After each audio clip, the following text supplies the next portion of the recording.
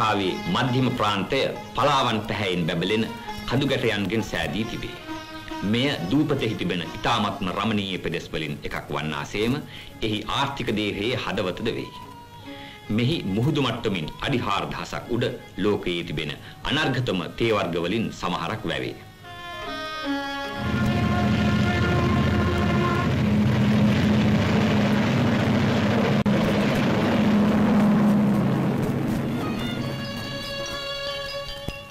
ලංකාවේ තේ නිපදවන්නට පටන්ගෙන දැන් අවුරුදු 100ක් ගත වී තිබේ.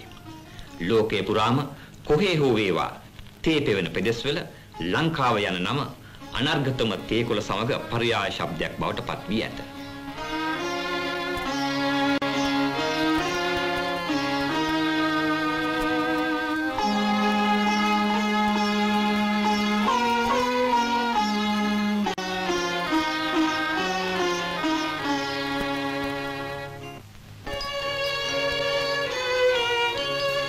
කලි බ්‍රිතාන්‍ය යුගයෙන් ලැබුණු දායාදයෙන් කොටසකි. නමුත් තේවලට ප්‍රථම ලෝක වෙළහෙළඳාම් පොළට ලංකාවද ඈඳවීමෙහි සමත් වූ වෙනත් ගොවිද්‍රව්‍ය තිබුණි. සොළොස්වෙනි සියවසේ විසූ යුරෝපියනට ලංකාව යන නමින් තේරුම් ගියේ මොන දෙයටත් වඩා පුරුදුය. අපරදිග අධිරාජ්‍යවාදීන් මෙහි ඇදී ආවේ අපේ තුන පහවල සුවඳටයි. පළමුව පෘතුගීසීන්ද දෙවනුව ඕලන්දක්කාරීන්ද වශයෙනි.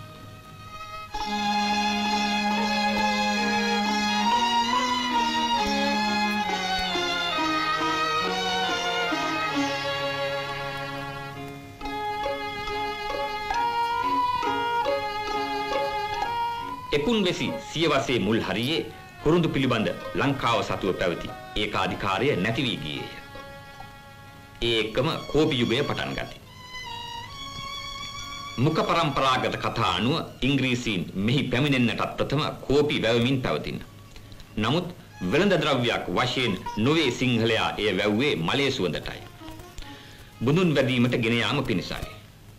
මහනුවරට සදාසන්න කඳුකරේ ඝනහැරයට කෝපි වැවුණු බවක් පැවසේ. දැන් පවතින වැවිලි කර්මාන්තයට අඩිතාලම වූයේ ඉංග්‍රීසීන් මුල් අවදියේ වැවූ කෝපි වැවිල්ලයි. කඳුකරේ විශාල බිම් කොටස් මේ සඳහා එලිපෙහෙලි කරගන්නා ලදී.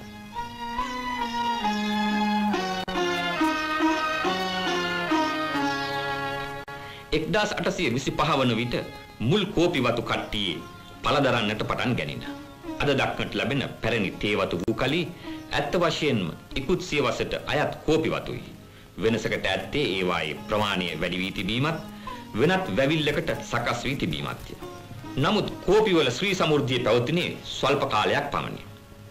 1860 ගණන් වලදී මරු පහර වැඩිගෙන ගියේය. කෝපි ගස්වලට භයානක ලෙඩක් වැළඳින. වත්තෙන් වත්ත එය පැතිරී ගියේය.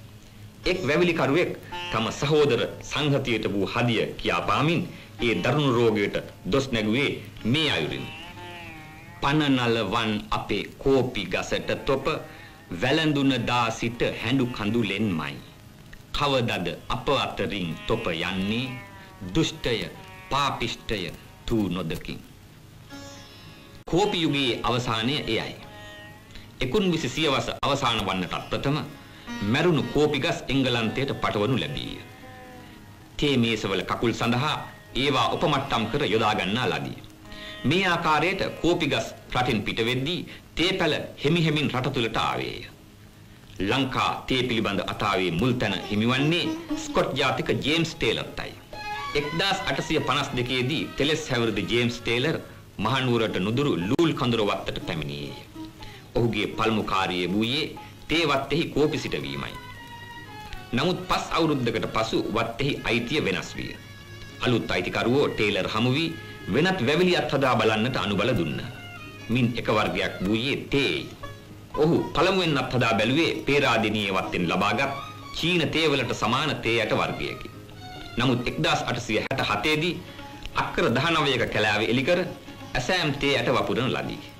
මේ ලූල් කඳුර වත්තේ ටේලර් හිට වූ මුල් තේ පඳුරු වලින් සමහරක් අදටත් අස්වැන්න දෙමින් පවතී. ආරම්භකයෙකු තුල පිහිටිය යුතු බුහුටිකමත් පරිකල්පන බුද්ධියත් ජේම්ස් ටේලර් කෙරෙහි විද්‍යමාන විය. හෙතෙම වෙළඳ ව්‍යාපාරයක මට්ටමින් තේ වැව්වා පමණක් නොව එය නිපදවීමත් විකිණීමත් යන දෙකෙහිද යෙදුනේය. ඔහු තේකොළ සකස් කිරීම ආරම්භුවේ බංගලා ස්තෝප්පුවේය. අමුදලු ස්තෝප්පුවේ මේසයක් මත තබා අතින් රෝල් කරනු ලැබූ අතර ඒවා වේලනු ලැබුවේ අඟුරු යෙදූ මැටලිප් වලින්ය. ඊළඟට ටේලර් කළේ පළමුවෙනි තේ නිපදුම් හල ගොඩනැංවීමයි. එහි ජල බලයෙන් ක්‍රියා කරන රෝලිං මැසිමක් සවි කරන ලදී. ටේලර්ගේ ජයග්‍රහණයෙන් බ්‍රිතාන්‍ය වැවිලි කරුවනට අලුත් මගක් සෑදින. නැති වීගෙන යන කෝපි වැවිල්ල වෙනුවට අලුත් වැවිල්ලක් දා ලංකාවේ වැවිලි කර්මාන්තය රැක ගැනීමට ඔවුන්ට හැකි විය. මේ අතරතුර ලංකාවේ තවත් වැවිල්ලක් ඇති වීගෙන ගියේය. එය නම් සින්කෝනා ගසයි. ඒ ගසේ පොත්තෙන් කූණැයින් සාදනු ලැබේ. සින්කෝනා වැවිල්ල ඇනබුවන්ගෙන් ටේලර්ද කෙනෙකි. මේ සඳහා පේරාදෙනියේ වත්තෙන් ඔවුනට උදව් උපකාර සහ අනුබල ලැබින. ලංකාවෙන් ගිය සින්කෝනා ලෝක වෙළඳපළෙහි අගතැන්පත් විය. එසේ වී නමුත් පමණට වඩා නිපදවීමෙන් කර්මාන්තය වෙනසී ගියේය. කෙසේ හෝ තේකොළ වලට හොඳ දසාවක් ලැබුවේය. කර්මාන්තය ව්‍යාප්ත වන්නට පටන් ගත්තී. ටේලර්ගේ පළමු වැවිල්ලෙන් දසවසක් ගත වන්නට පෙර ලංකාවේ තේ ලෝක වෙළඳපළට ළඟා විය. බ්‍රිතාන්‍යත් ඕස්ට්‍රේලියාවත් වැඩි හරියගත් අතර බටහිර යුරෝපයත් ඇමරිකා එක්සත් ජනපදයත් රුසියාවත් ඉතිරි ටික ගත්ත. 1878 දී මින්සිංලේන් හිපවත්තුණු තේ වෙන්දේසියට ලංකාවේ තේ පළමු වරට ඇතුළත් කරනු ලැබීය. වැඩි කල නොගොස් ලංකා තේ යන නාමය කුලීන තේ යන්නට පර්යාය ශබ්දයක් විය. 1890 ගණන් වලදී ගෝල්ඩන් ටිප්ස් යන්නේ විශේෂයෙන් තෝරාගනු ලැබූ කුඩා තේ තොගයක් පුදුමාකාර ගණන් වලට විකිණෙන්නට විය. අද ලංකාවේ පවතින යෝධ තේ කර්මාන්තයේ මුල් අවධිය මෙයයි.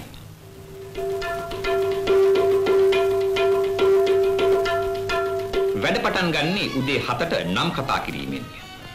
කාර්මික විධීන් නිෂ්පාදන විධීන් වෙනස් වී තිබේ. නමුත් තේවත්තක දිනචර්යාව අදත් ජේම්ස් ටේලර්ගේ කාලයට වඩා මොන විදියකින්වත් වෙනස් වී නැත.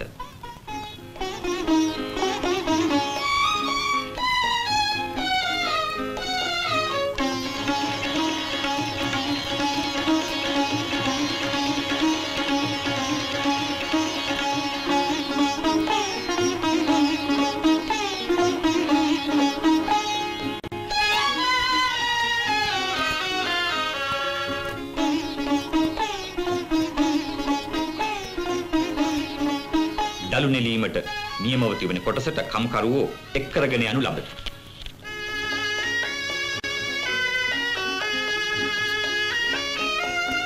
දලු නෙලීම පාරම්පරික වශයෙන් ස්ත්‍රීන්ගෙන් කෙරෙන කාර්යයකි. නමුත් මෙකල පවතින අධික අස්වැන්න නිසා පිරිමි ළමයින් සහ වැඩිහිටි අයද යොදවන්නට සිදු වී තිබේ.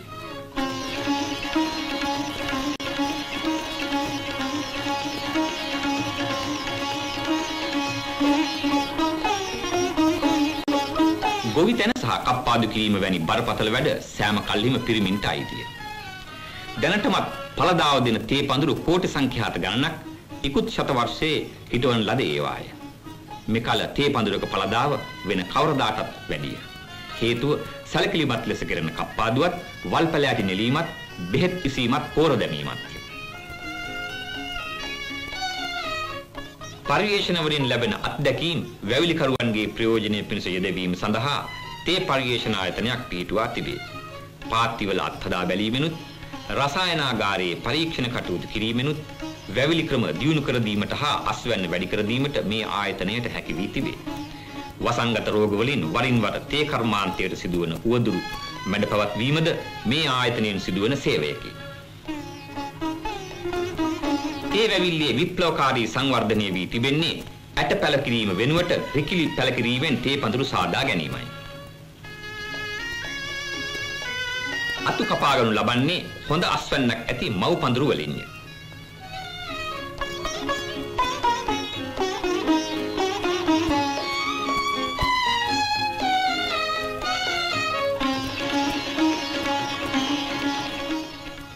ලංකාවේ තේ වතුවල සෑම අවුරුද්දකම වාගේ පැරණි තේ පඳුරු උගුල්ලා හොඳ අස්වන්නක් ලැබිය හැකි අලුත් පැල සිටවනු ලැබේ.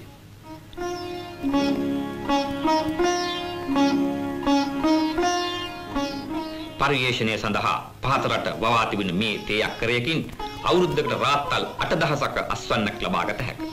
ලංකාවේ සාමාන්‍ය ප්‍රමාණය රාත්තල් 900කි. නිෂ්පාදන විදීන් වරින් වර වෙනස් වීගෙන ගිය නමුත් වත්තේ මුහුණුවර වෙනදා මෙන්ම පවතී.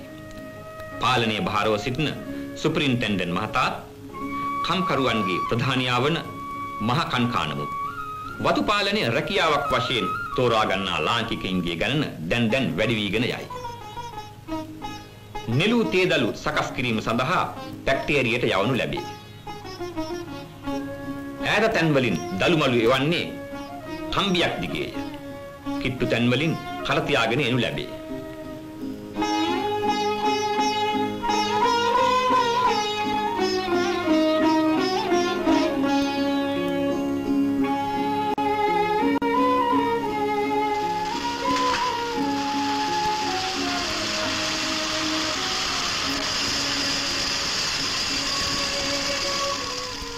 ඒ අතරතුර ඉකුද්දා නෙළූ දලු බැක්ටීරියා තුළ නිෂ්පාදනය වෙමින් පවතී.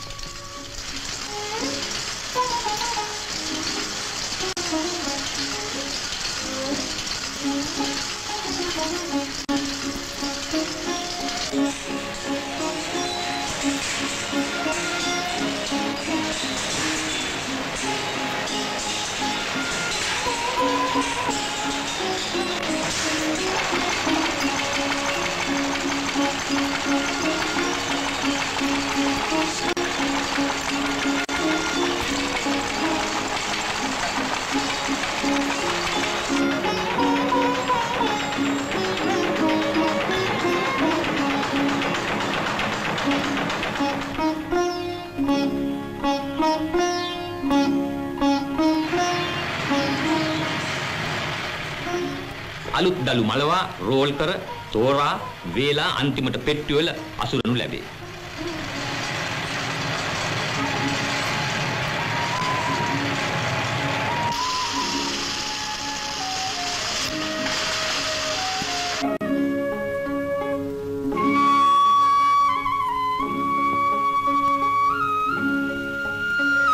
ඒකොළ අපනයන වෙළඳාම වටා අංග සම්පූර්ණ ජීවන රටාවක් ගෙතී ඇත. වතුවල සිටින කම්කරුවන් හැරෙන්නට වෙනත් බොහෝ දෙනෙකුට තෙය නිසා රස්සාව ලැබී ඇත. විශේෂ දක්ෂතාවකින් කළ යුතු කාර්යයන් වන තේ රස බැලීම වැනි උසස් රැකියාද තිබේ.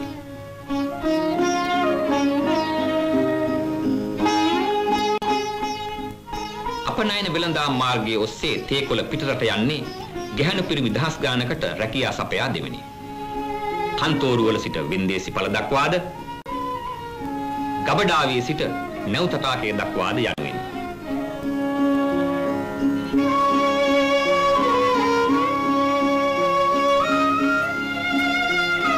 ඉකුත් අවුරුදු 100 තුල දියුණෙන් දියුණට පත්යේ කර්මාන්තය කොළඹ වරායේ මුහුණුවර වෙනස් කරලීමට උපකාරී විය. ගිය සත වර්ෂයේ වරායේ තත්ත්වය දියුණු කරනුවස් දිය කඩනයක් බැඳවීම සිදු වූයේ තේ වෙළඳාම නිසායි. එවක් පටන් නිතර නිතර කරන ලද වර්ධන කටයුතු නිසා අද කොළඹ තොටුපළ ලෝකයේ තිබෙන උසස්තම හා නවීනතම තේ තොටුපළවල් වලින් එකක් බවට පත් වී තිබේ. එකල ප්‍රධාන අපනයනයන් පිටරට පැටවුණේ කොළඹින් පමණි. දැන් වෙනත් තැන්වලින්ද මේ සේවය ඉටු වේ. පැරණි ගාලු වරාය දැන් දියුණු තත්ත්වයකට පත්කොට ඇත. නාවික කඳවුරක් ව තිබුණු ත්‍රිකුණාමලය දැන් විශාල වෙළඳ තොටුපළක් බවට පරිවර්තනය වී තිබේ. වතුකරයේ කම්කරු සේවයද වෙනස් වීම් වලට භාජන වී ඇත. බ්‍රිතාන්‍ය වැවිලිකරුවෝ දකුණු ඉන්දියාවෙන් කම්කරුවන්ගෙන ආහ. තවමත් බොහොමයක් කම්කරුවෝ මුල් ඉන්දීය කම්කරුවන්ගෙන් පැවතෙන් නොවේති. නමුත් මෑතක සිට ලාංකේය කම්කරුවන් සෑහෙන ගණනින් වතු වලට බැඳෙන්නට පටන්ගෙන තිබේ.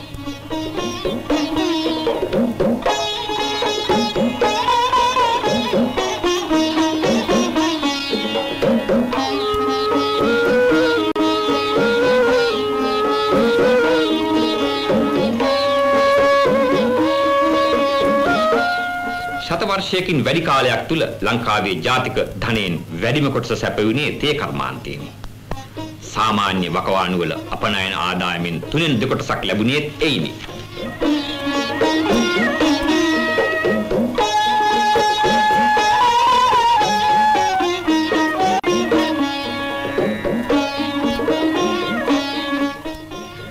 වලින් ලැබෙන ආදායම නිසයි දැන් පවතින සුබ සාධක හා සමාජ සේවා වැඩපිළිවෙල ක්‍රියාවේ යෙදවීමට හැකි වී තිබෙන්නේ.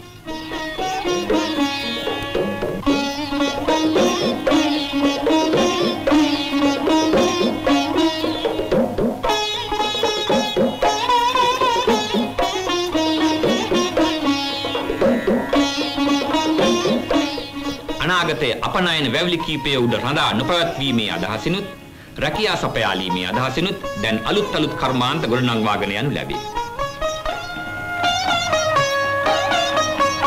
එනමුත් තවමත් ලංකාවේ ආර්ථික දේශගුණය වෙනස් වෙමින් පවතින්නේ තෙයෙහි මිල අඩු වැඩි වන හැටියටයි. අනාගත සංවර්ධන කටයුතු කරගෙන යාමටත් ජනතාවගේ ජීවන තත්ත්වය නගාලීමටත් අවශ්‍ය ධනය රටට ලැබෙන්නේ තේ කර්මාන්තයෙනි.